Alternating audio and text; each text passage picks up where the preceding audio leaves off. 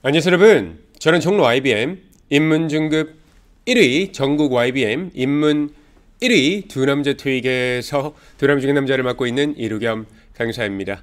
4월 30일 정기 토익을 대비해서 파트 3, 4 답은 이렇게 나온다. Paraphrasing 준비해봤습니다. 여러분 paraphrasing 많이 중요한 거 알고 계실 거라고 생각을 합니다. 잘 외워가시면 많은 도움이 될 거니까 잘 외워주시기 바라고요. 그럼 바로 한번 출발해 보겠습니다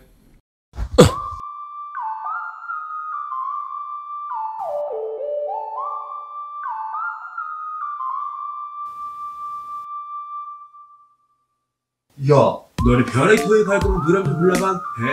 진짜 괜찮아. 집 밖에 안 나가도 돼. 해외 도피 중에도 돼. 1번입니다. harvest라고 하는 건 추수하다라는 뜻이 되겠죠. 그러면 보통 이 harvest라는 단어가 여러분들 귀에 들릴 거고 장소를 묻는 문제 같은 게 나온다면 어디를 고르면 된다? farm이라고 하는 농장 고르시면 된다라는 거. 그래서 harvest가 들리면 farm을 고르면 된다라는 거 기억하시면 될 것 같고요. 2번입니다. stay hydrated. 어, hydrated이라고 하는 것은 수분이 이제 충분한 상태로 stay 유지되는 거죠. 그러니까 stay hydrated 이런 게 들리면은 drinking water 물 마시기를 고르시면 되겠습니다. hydrated 수분이 유지되는 상태가 되는 거죠. drinking water로 연결하시면 되겠고요. 3번입니다. 뭔가를 걱정하는 건데 뭘 걱정하니? 라고 했을 때 expensive 하지 않니? 라고 해서 여러분들에게 expensive 같은 게 들리면은 the cost, the 비용을 걱정한다. 이런 거 연결할 수 있으면 좋겠습니다. expensive가 들리고 여러분들 눈에 cost가 보이면 고르시면 cost가 보이면 고르시면 답이 많이 되겠죠? 4번입니다. sign a deal 이라고 하는 거 계약에 사인하다라는 뜻이 되겠고요. 여러분들 눈에는 secure a deal 이런 게 보일 수 있거든요. secure이라고 하는 건 무언가를 확보하다는 뜻이 있기 때문에 이런 것들 고르시면 sign a deal, secure a deal 연결 가능하다라는 거 기억하시고요. 여러분들에게 paperwork라는 게 들렸다. 그러면 문서나 문서 작업이라는 뜻이 되는 건데 그러면 선택지에 document라는 단어 있으면 고르시면 답이 많이 되겠죠. paperwork, document는 동의어로 기억하시는 것도 괜찮을 것 같습니다.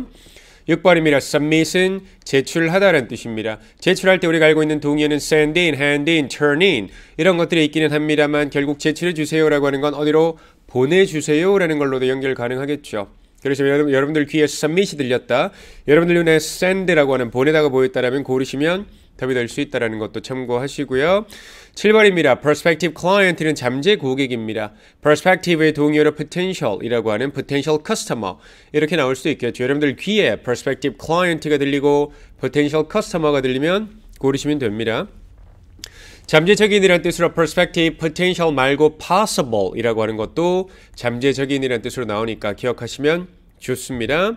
8번입니다. Only allow one piece of carry-on luggage라고 하죠. carry-on luggage라고 하는 건 여행용 짐가방인데 보통 이거를 기내에 가져 들어갈 수 있는 거라고 보시면 되는데 하나의 휴대용 여행 가방만 허용합니다라고 여러분들 귀에 들렸어요. Only allow one piece of carry-on luggage라는 게 들렸고 여러분들 눈에는 무엇에 관한 얘기를 하는가요? 라고 했을 때 나왔을 때 luggage, luggage restriction이라고 하는 수화물 제한이라는 거 고르시면 되겠습니다. 물론 이런 문제를 풀어갈 때는 luggage, luggage 사운드 끼워 맞추는 것도 괜찮기는 합니다만 하나밖에 못 가져 들어가 라고 하는 건 결국 luggage restriction이구나 이렇게 연결할 수 있으면 좋겠죠.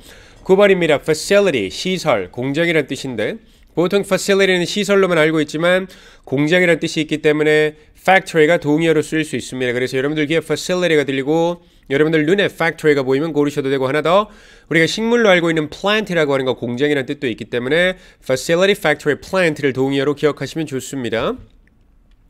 10번입니다. cost projection이라고 하는 건데 projection이라고 하는 건 예측이라는 뜻으로 비용 예측이라는 사운드가 여러분들 귀에 들리고 여러분들 눈에 cost estimate, 견적이라고 하는 단어 보이시면 고르시면 됩니다. 동의어로 기억하세요.